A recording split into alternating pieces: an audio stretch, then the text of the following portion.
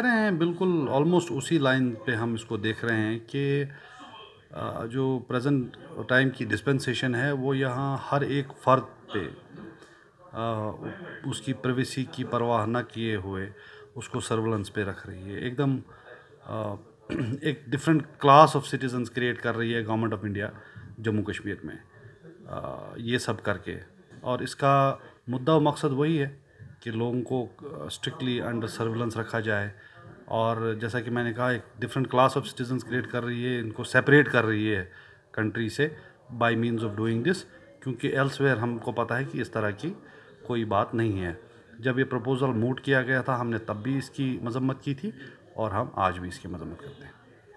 पहले मैं बताऊँगा 2019 से जम्मू कश्मीर के लोगों पे हर कोई कानून जो है सेंट्रली वो इन्फोर्स किया जा रहा है which is a violation of gross violation of human rights ये जो आप क्यू आर कोड की बात कर रहे हैं कि अब हमारे घरों में क्यू आर कोड लगाया जाएगा, जिससे गवर्नमेंट को फैसिलिटेट किया जाएगा कि घर में कितने अफराद है, कौन कितने पैसे कमाता है, किसका जीपीएस पोजीशन कहाँ है, वो दिन भर घूम के कहाँ से आ गया ऑफ़िस गया कि नहीं गया।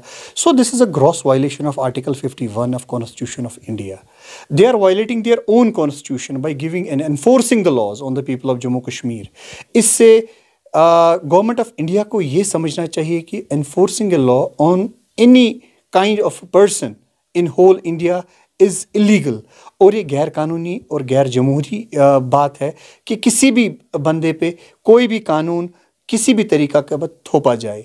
क्यों? हुई इट्स अ एक प्राइवेसी को क्यों हैक किया जा रहा है? एक सेंट्रली लोकेटेड कंट्रोल रूम से ताकि उनके जो आ, उनके जो प्राइवेट थिंग्स है, उनको एक्सेस किया जाए। क्यों किसी की there are the departments which is looking after the income of a person which is looking after mobile हमारे जो अपनी टेली कम्युनिकेशन डिपार्टमेंट है, हमारी प्राइवेसी को ऑलरेडी देख रहे हैं कि हु इज़ मूविंग वट अगर कोई इलीगल थिंग हो जाती है they are getting the things done under the law so why the government is enforcing the law on the people of Jammu and Kashmir?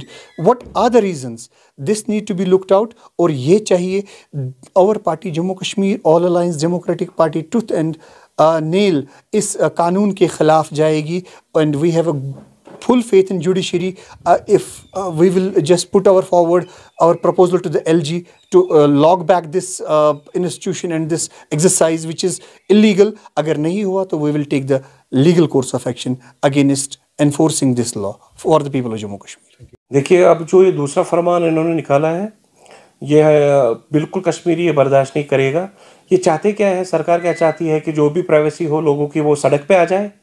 आप देखिए मुझे बताइए किस स्टेट में ये क्यू आर कोड इन्होंने इम्प्लीमेंट किया तो कश्मीर में करेंगे? ये कश्मीर में ये क्यों ये नए दिन ऑर्डर्स निकलते रहते हैं? आखिर ये कश्मीरियों के साथ करना क्या चाहते हैं? आप हमारा सवाल है सरकार से उन, उनको क्या मिलेगा ये करने से? हमें समझ में नहीं आ रहा है। और बार बार ये कश्मीरियों को सताना अब अब ये क्यू आर कोड का मसला अब क्या उनकी प्राइवेसी भी उनसे छीनी जाएगी? ये हम होने नहीं देंगे हम सरकार को बोलेंगे कि जल्द से जल्द फैसला वापस ले। यहाँ हालात अगर आप बोल रहे हो कि यहाँ हालात सुधार आ, सुधार आ रही है हालात में तो फिर ऐसे ऑर्डर्स निकलने के लिए आप क्यों ये कश्मीर को आप और उसी दलदल में फंसाना चाहते हो? हम एक गवर्नमेंट से पूछना चाहते हैं कि आप बोल रहे हैं नया कश्मीर नया कश्मीर? यहाँ से आप नया कश्मीर के वादे दे रहे हो और यहाँ से आप ऐसे फरमान सुना रहे हो जिससे पूरी आग लग जाएगी कश्मीर में? हम गवर्नमेंट से ये बोलना चाहेंगे, हम सेंट्रल गवर्नमेंट से अपील करना चाहेंगे कि इस ऑर्डर को रिवोक किया जाए ताकि ताकि ऐसे हालात यहाँ पेश ना आए कि सरकार को संभालना मुश्किल हो जाए।